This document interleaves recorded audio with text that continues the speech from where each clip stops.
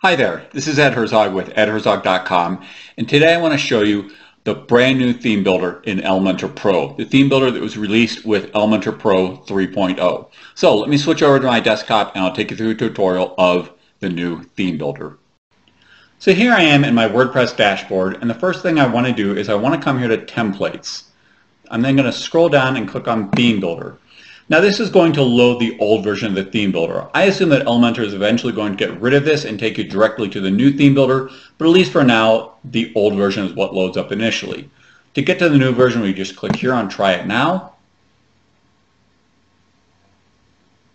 And now we're in the new version. Now right here, you're not going to see any content because this is just a demonstration website. So you see placeholder uh, placeholder content in these. But of course, this is also what it'll look like if you're brand new to Elementor Pro. This is what it'll look like the first time you load up Theme Builder and before you've created the different parts of your website. Now, the first thing to know is that you do not have to create every single one of these. Uh, you can create whichever parts you want via the theme builder. For example, I know a lot of people don't like to have their blog posts tied to the theme builder. So if you don't want to create your blog post via the theme builder, you don't have to do it. At the same time, you can also create multiple versions of each of these, of the header, footer, single post, single page, archive, search results, and error 404. You can create as many different versions as you want and then select the display conditions to display them where and when you want to display them. So for example, if you want to have multiple headers, different headers for different uh, pages or posts on your website, you can do that. If you want to have different blog posts, depending on the content, you can do that as well. So you're not limited in that sense. You can create what you want to create with the theme builder. You also have this button up here. If you click on that, it allows you to import templates if you want to do that. Come back over here. If you click on these different parts here, this here gives you an overview of every single thing that you that you've created via the theme builder. But if you want to see uh, you know the different headers you've created or the different footers, etc., you can click on these individual site parts and it'll take you to that. Now here, of course, as I've said, I haven't created anything, so it's going to say no templates found. Um, now I'm not going to take you through a tutorial on how to create each of these different parts. I, I, may do that in other videos.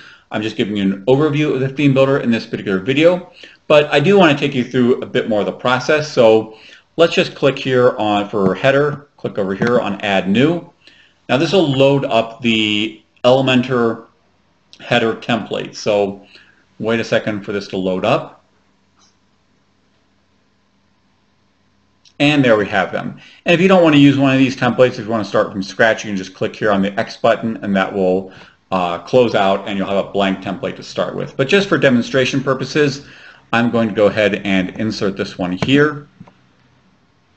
Wait for this to load up and get inserted, and there it is. Now, of course, this is like anything else in Elementor. Of course, I can do whatever I want. I can add whatever widgets I want.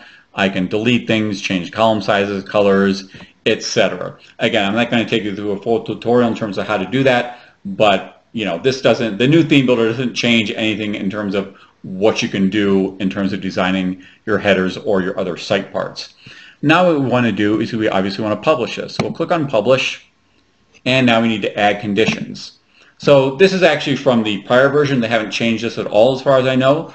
Uh, but you have both include as well as exclude conditions. Uh, so you can include, for example, entire site, or under archives, you have various options here. Author archive, date archive, search, uh, search results, or different post archives. And then here under singular, you have options for front page, posts, page, media, direct child of, any, uh, any child of, by author, and 404 page. So let's just leave it like this, include singular, all singular, and we'll save and close it. Okay, now it's published. Now we click here on Open Site Editor. Now this will actually take us back to the theme builder. I have no idea why at that point they call it the site editor, but now we're back here in the theme builder. Uh, this right now, it takes, uh, I found it takes a couple minutes before it actually displays, but if we click here, it displays there within this part, uh, you know, this part of the theme builder. So from here, we've got options if we want to edit it. You can click there. We've got options for exporting, trashing, renaming. Here we see the name, the default name. Again, we can rename it right there. It shows who created it. It shows the date of creation. The green button there means it's live on your website. And here you see the instances where it's displayed. Again, we chose all singular, so it's displayed there. If you want to edit that, we just click right there and it takes us back to the display conditions. And you know, if you want to, as I said, if you want to create more headers, just click there and then create more headers and they'll show up here as well underneath that one. So that is basically what you can do with the with the new theme builder. I really like this. It's very nice, very visual. You know, before it was just this long list of, uh, you know, it was built more into WordPress. Was just this long list of different things, and it's hard to remember what was what. But here, you know, it's very easy to know what you've created, where you've placed it. Uh, it just makes it much easier. So, so that's it. That is the new theme builder. If you have any questions at all about the new theme builder, I mean, I think this is pretty straightforward, but you know, as I said in all my videos, if you have questions, please let me know. I'm always willing to help people out as best as I can. Uh, make sure to subscribe to my channel. I'll be doing, you know, one to two Elementor videos every week for the rest of 2020 and probably into 2021 as well. Finally, if you're not a Pro member yet, I love Pro. You know, I was one of the initial customers. I bought it when it first came out uh, back, I think it was about four years ago. So if you do decide to buy Pro, I always appreciate it if people buy via my affiliate link. I'll put that down in the description of the video.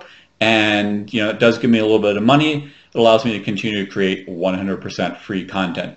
So that is it. I hope this video was of, uh, of use to you and hope to see you on the next video. Bye.